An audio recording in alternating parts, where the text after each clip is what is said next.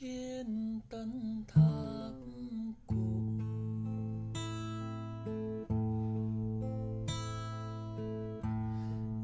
samedi 1er octobre 2022, Stéphane revenait pour une 43e participation dans les 12 coups de midi sur TF1. Le maître de midi a dû faire face à Loïc, Louis et Nicole.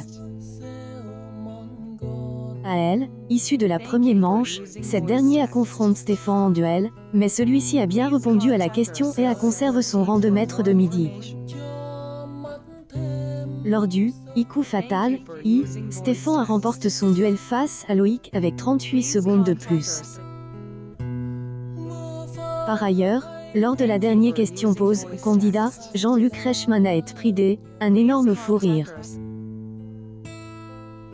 La question était, I dans la cuisine espagnole, quelle marque cousine de la crème brûle peut servir à fourrer certaines petites cerises I. Elle, animateur N, a pu S, de rire à cause du terme, I fourré, I.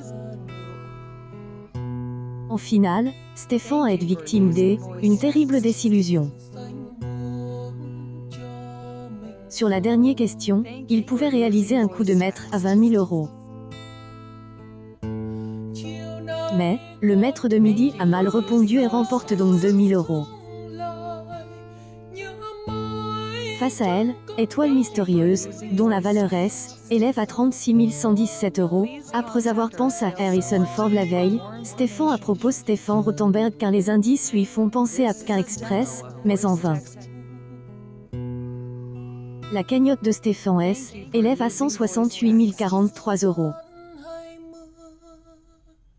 Cette édition des 12 coups de midi a été suivie par graphe 2,66 millions de téléspectateurs, soit 30,7 parts de marche sur les 4 ans et plus, dont 25 les femmes responsables des achats de moins de 50 ans.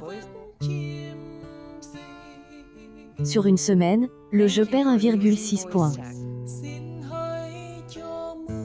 En frontal, tout le monde veut prendre sa place sur France 2 poursuit sa progression avec 1,76 million de personnes, soit 18,7 EL, ensemble du public.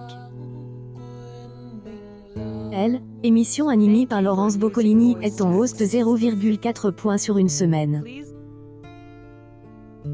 Stéphane tentera de conserver son rang de maître de midi ce dimanche 2 octobre dans les 12 coups de midi sur TF1.